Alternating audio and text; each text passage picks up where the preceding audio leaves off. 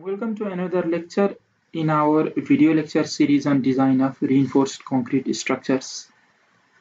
Before proceeding with the remaining part of our chapter 3 that is behavior of our beam under flexure, today's lecture will be related to solving a numerical of analysis of an under reinforced beam and in next lecture we will see another numerical regarding the analysis of over reinforced beam and only then after that numerical, we will go to the design part of singly reinforced sections. So today and next lecture will be a tutorial class. And on your screen, you can see a question that I have prepared. You are given a rectangular beam section with a width of 250 mm and an effective depth of 350 mm. The concrete grade is M30 and the steel grade is Fe250 and the amount of tensile steel reinforcement is equal to 1800 mm square. Now we have to calculate the ultimate moment carrying capacity of this rectangular beam section. So here we have been given the total amount of reinforcement. We are not concerned with how many bars are here or what are the diameter of the bar. If we were given number of bars and the diameter of each bar, then also we could calculate this total amount of AST. But instead, we are directly given the total amount of reinforcement here. And another thing is we are given here effective depth. The question may also give you the total depth and the effective cover. And if those two things are given then you can calculate the effective depth also. Let me write that formula here. So effective depth is total depth minus effective cover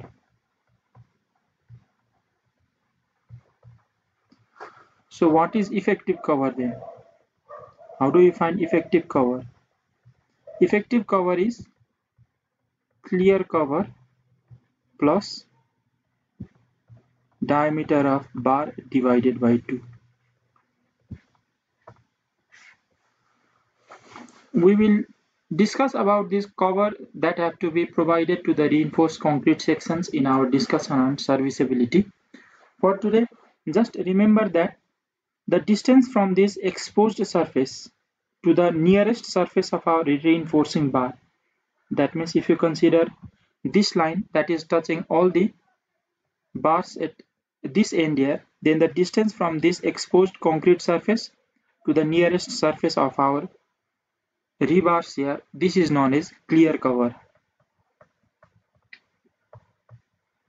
And in this clear cover, if you add half of the diameter of these bars. That means from this line to the line passing through the center of these bars if you add this half of the diameter then you will get effective cover. So to find the effective depth you can subtract that effective cover from total depth. But here we are directly given effective depth so we will use this value instead. Now let me proceed with the solution First, before calculating the ultimate moment carrying capacity, we have to know whether this is an under reinforced or an over reinforced section. Our tutorial is analysis of an under reinforced beam, so you may think that this is an under reinforced beam, but let us check first whether it is an under reinforced or over reinforced beam. So first let us calculate the percentage of steel that is provided in this beam section. PT means the percentage of steel provided is calculated by total amount of reinforcement divided by the product of width and effective depth of beam in 200. So AST is 1800, B is 250 and D is 350 into 100. So remember this percentage of tensile steel reinforcement is calculated as a percentage of this effective area, not the total area of our beam. Since we have used that effective depth and not total depth. So if you do this calculation, you will get the percentage of steel reinforcement provided to be nearly equal to 2.057 percentage. So this is the percentage of tensile steel reinforcement that is actually provided in our beams. But what is the limiting value?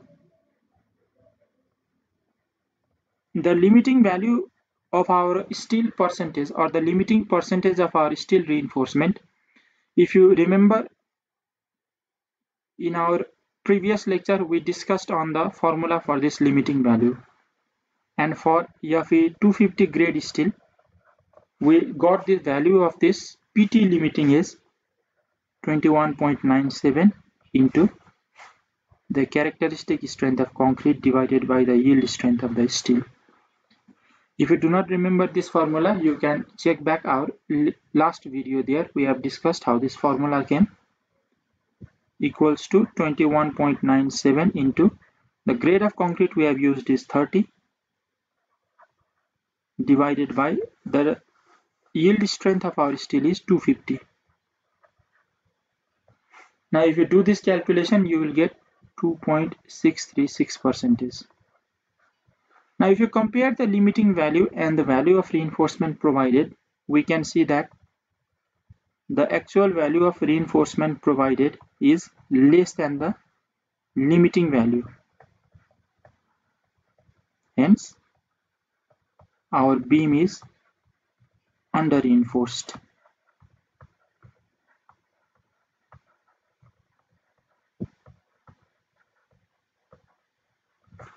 So since the amount of steel provided is less than the limiting value, our beam is under reinforced. And we know that for our under reinforced beam section, the ultimate moment carrying capacity or the ultimate moment of resistance MU is given by this formula 0.87 Fy ASTD 1 minus Fy AST by FCK BD. So we have all these data Fy, AST, D and B. So just substitute the value of all these symbols here. 0.87 into 250 into 1800 into 350 multiplied by 1 minus 250 into 1800 over 30 into 250 into 350 so if you do this calculation you will get the value of mu is 1135000 newton millimeter. And if you convert it into kilonewton meter 113.535 kilonewton meter. So this is our answer this is our moment of resistance of this singly reinforced or under reinforced beam here. So let us check by another method whether our assumption that or whether our determination that our beam is under reinforced is correct. So let me choose another color here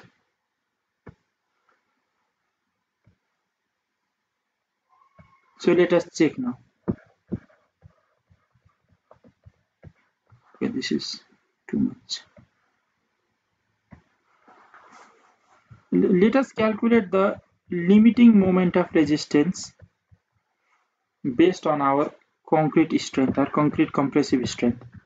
So we, we have the formula 0.149 FCK BD square for the limiting value of moment of resistance.